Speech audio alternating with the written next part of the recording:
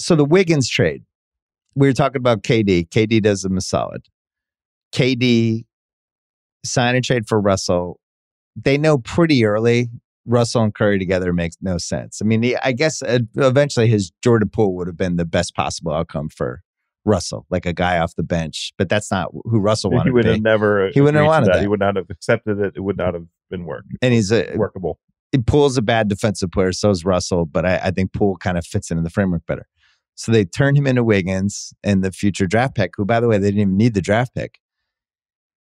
And Wiggins was, I think, everybody's one of their least favorite players. All the people who love basketball, you look at him and you go, "That's that's just a guy I'm out on." He doesn't have it.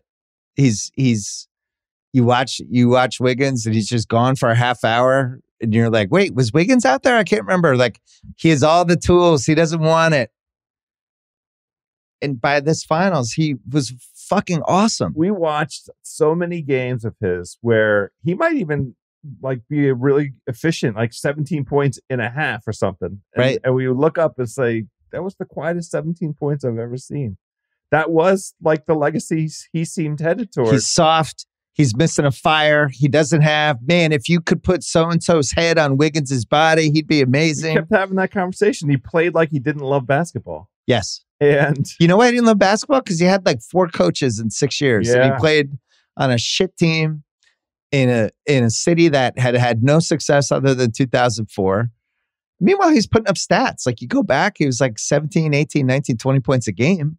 And he was a good athlete. But man, I- what he did in this series, I was so impressed by him. I mean, I feel like he kind of broke Tatum. oh, that's interesting. He certainly had him and. Draymond together. Like I like I, I, I, it, it hit a point by today. Tatum couldn't score on him anymore. the psychobabble, we, we will engage in all kinds of psychology. That'll be next break for Tatum. Pop psychology Yeah. for Tatum.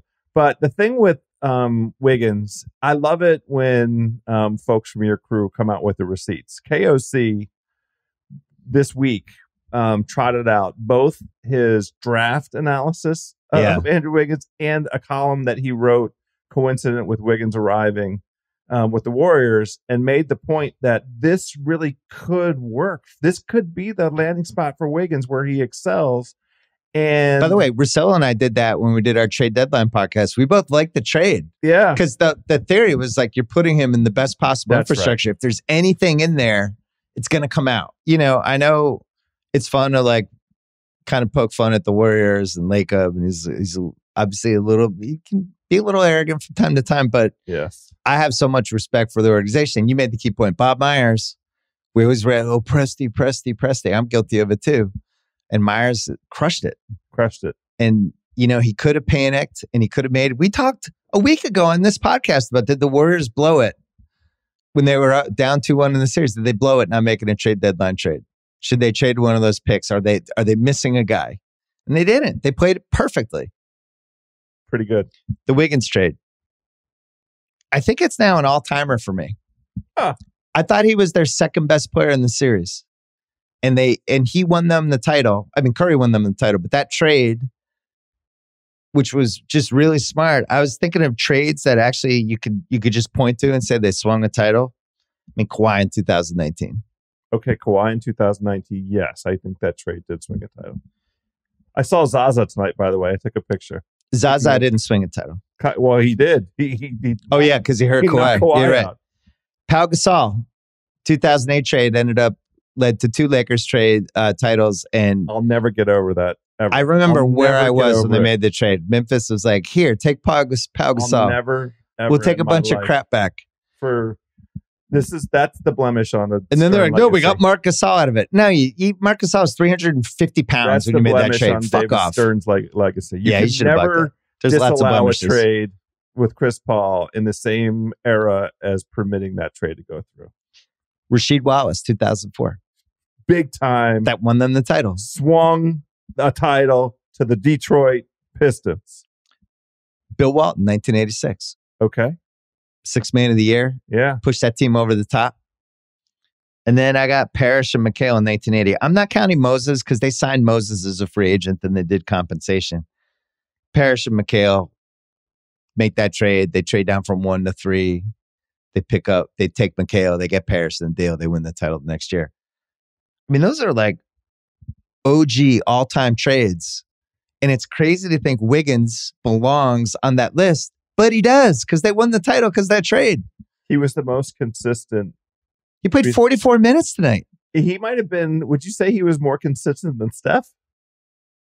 No. Well, no, Steph I mean, bad like shooting games. Steph had still. one bad game and then and one like shooting game. game. He still has an enormous impact because of of the pressure that he creates on the defense. Wiggins hit a point where I was surprised when his shot wasn't going in. I think he was like eight for 18. It wasn't even like he was awesome today, but I always felt like he was making it. And then the stuff he was doing defensively was just out of control. I mean, that was like,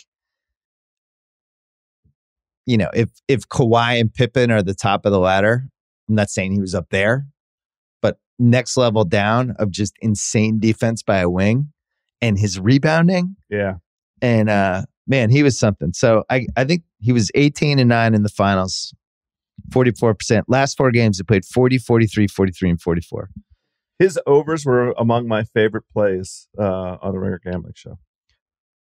my lesson from the wiggins trade is is is a lesson we already knew. Always bet on the pedigree. This is why i like i yeah sure i'll take a flyer on marvin bagley.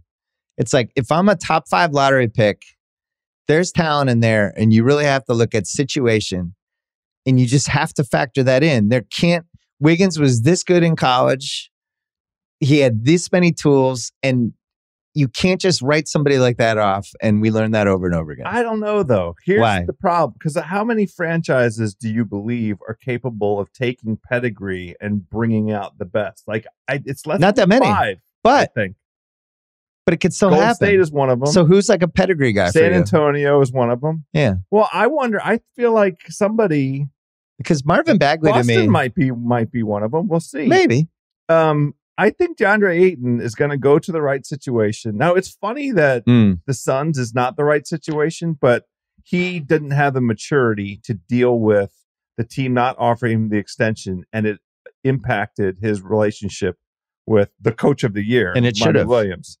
I mean, but but you know, I I respect Phoenix's ability developmentally. I mean, they they they made uh uh Mikal Bridges a gigantic amount of money.